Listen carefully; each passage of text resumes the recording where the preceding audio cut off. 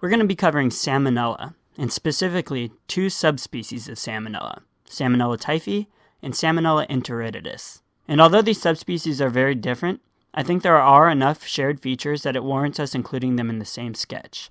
This way, we can really clump together the commonalities and then highlight the differences. I think the topic for this sketch should be a salmon dinner. Salmon's a pretty obvious association with salmonella. I imagine you guys have at least subconsciously made that association, so let's not change it. But I think having it be a dinner will allow us to expand more and include more features. Let's start by drawing a table. And then on top of the table, we'll have our salmon dish. A little thing that we'll include with the salmon is have the tail flopping around just to give action to it so that you remember that salmonella is motile.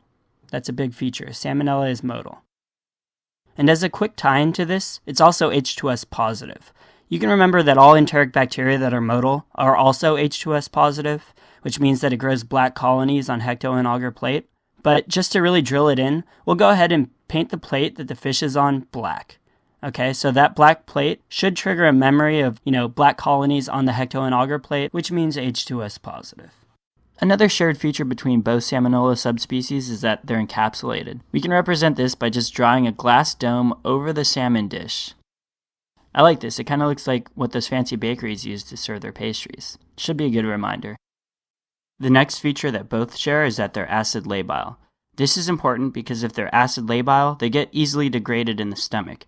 So that means that you need a really high dose to cause infection. This is opposed to Shigella, which isn't acid labile and only needs a few organisms to cause infection. So then additionally, it would make sense that if you were taking omeprazole or had pernicious anemia or had any other conditions that lowered stomach acidity, you'd be more susceptible to infection. So how do we remember this? Well, a lot of people like lemon with their salmon, so we can add a slice of lemon, which you would equate with acid, and you'll just have to remember that it's acid labile. So now it's time to differentiate between the two subspecies of Salmonella. Over on the left, we'll have Salmonella enteritidis, and on the right, Salmonella typhi.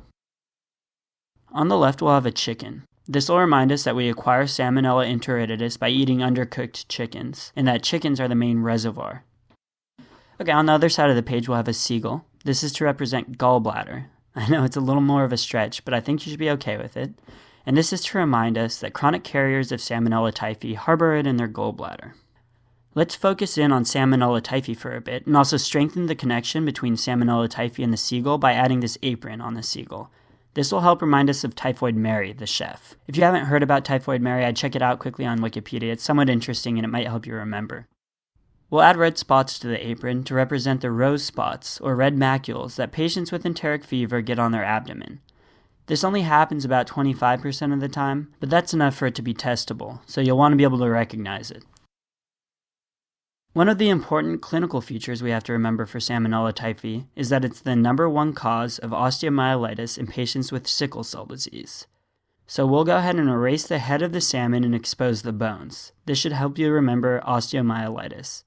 Then we'll add a sickle to the hand of the seagull and have it looming ominously right above the bone and that should be a strong enough association. Typhoid fever is generally associated with constipation, but it can cause diarrhea, and when it does, it's said to resemble pea soup. So we'll go ahead and draw some bird droppings here, the color of pea soup, to help remind you of that. Another difference between Salmonella typhi and enteritidis is that typhi is treated with an antibiotic, most often a fluoroquinolone. So we'll go ahead and draw a flower on the table closest to the seagull to represent fluoroquinolone. Salmonella typhi also has a live attenuated vaccine. We'll draw this syringe and it'll be sticking the leg of the seagull. This should remind you that it's Salmonella typhi and not Salmonella enteritidis that has the vaccine. All right, let's bring our attention back to the chicken. The main thing I want you to remember is that Salmonella enteritidis causes inflammatory diarrhea. So we'll show you by having the chicken light the candle, and this flame will remind you of inflammatory. A virulence factor for Salmonella that you'll also see pop up for Shigella and Yersinia pestis is that it contains a type 3 secretion system. This is a protein that not only detects eukaryotic cells, but when it does, it secretes a protein that helps with infectivity. And unfortunately, this is something you'll have to remember. We'll draw this turkey baster near the chicken, and this will be a symbol for the type 3 secretion system. We'll keep reusing it in future drawings, and hopefully by then it'll be really fixed.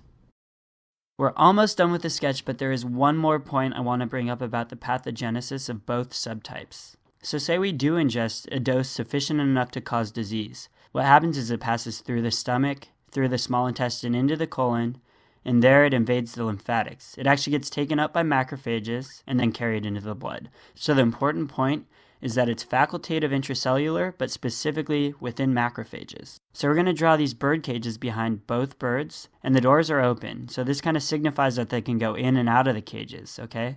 That represents facultative intracellular. You can remember that it's macrophages because it rhymes with cages. Or if that doesn't work, we'll just write the M phi symbol on the cages, and if you're a visual learner, you'll remember it that way. And that's all the information we're going to cram into this sketch. Thanks a lot.